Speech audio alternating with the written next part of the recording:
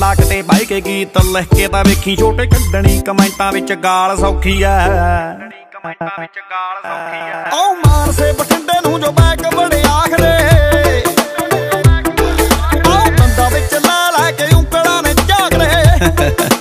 backward area ਨਹੀਂ ਹੁੰਦਾ ਸੋਚ ਹੁੰਦੀ ਹੈ ਮਾਨਸੇ ਬਠਿੰਡੇ